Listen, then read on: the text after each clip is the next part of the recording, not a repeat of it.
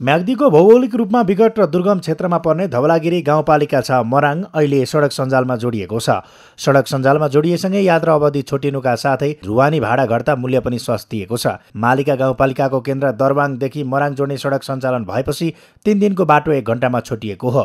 यसअघि सदरमुकाम बेनी आउन जान कम्तीमा दुई दिन लाग्ने गरेकोमा अहिले एकै दिनमा सदरमुकाम बेनी पुगेर काम सकेर बेलुकी घर फर्कन पाएकोमा मराङवासीलाई राहत मिलेको छ। जस्तो मलाई यो चाहिँ मोटरबाट आएको यति चाहिँ खुसियाली पहिला हामी यहाँबाट हिँडेर उहाँ चाहिँ अब बेनी पनि पुग्यो अनि उहाँ नौडाँडा पनि पुग्यो। र अहिले यहाँ हामीहरू चाहिँ मोटरबाट आएर हामीलाई यति चाहिँ सुविधा कति सजिलो भएको छ।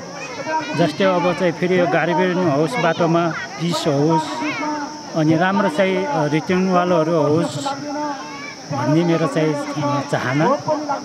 दरबाङदेखि खचड भरिया मार्फत प्रति किलो दस रुपियाँ ढुवानी भाडा लाग्ने गरेको थियो तर सडक सञ्जालमा जोडिएर यातायातका साधन सञ्चालन हुन थालेपछि प्रति किलो दुई रुपियाँमा ढुवानी हुन थालेको छ। दैनिक चारवटा बस र दसवटा जिप चल्ने बेनी मराङ सडकमा प्रति यात्रु चार सय चालिस र दरबाङ मराङलाई दुई सय बिस रुपियाँ भाडा तोकिएको छ। सात वर्ष लगाएर विभिन्न सरकारी निकाय र स्थानीयवासीको श्रमदानसहित छ करोड छयालिस लाख रुपियाँ खर्चेर मालिका गाउँपालिकाको बिममा पर्ने लुरवाङदेखि बेसी हुँदै मराङ र मल्कवाङको कान्छे भिरसम्म सत्र किलोमिटर सडक निर्माण भएको छ। मराङ मल्कवाङ खिवाङ र रघुगङ्गा गाउँपालिकाको कुइनेका करिब तिन हजार घरधुरी सडकबाट प्रत्यक्ष लाभान्वित भएका छन्।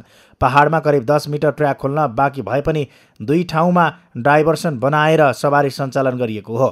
सडक पुगेसँगै गाउँपालिका र वडाहरूले नयाँ योजना बनाउन थालेका छन्। कान्छेभिर पुगेको सडकलाई विस्तार गरेर मल्कवाङ हुँदै पाखा पानी र कुम्रीमा पुगेको सडकलाई ठुलो गाउँ रामसे बुल मलबार मल्कवाङ जोडेर चक्रपथ बनाउने योजना अघि सारिएको छ।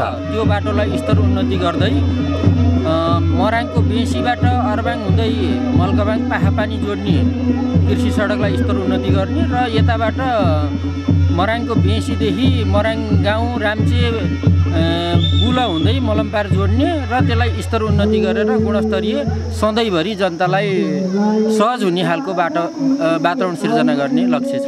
पूर्वाधार विकास कार्यालयले अर्गाला बेसी खण्डका भिरमा बाँकी ट्र्याक खोल्न र मल्कवाङमा जोड्न यस वर्ष डेढ करोड रुपियाँ विनियोजन गरेको छ।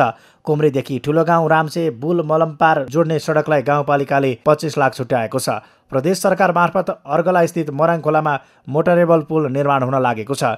सडकलाई स्तरीकरण गरेर बाह्रै महिना सवारी सञ्चालन गर्न सके त्यसले नागरिकलाई दुर्गमको भावनाबाट बाहिर निकाल्न सक्थ्यो। सगरमाथा टेलिभिजनका लागि म्याग्दीबाट सन्तोष गौतमको रिपोर्ट।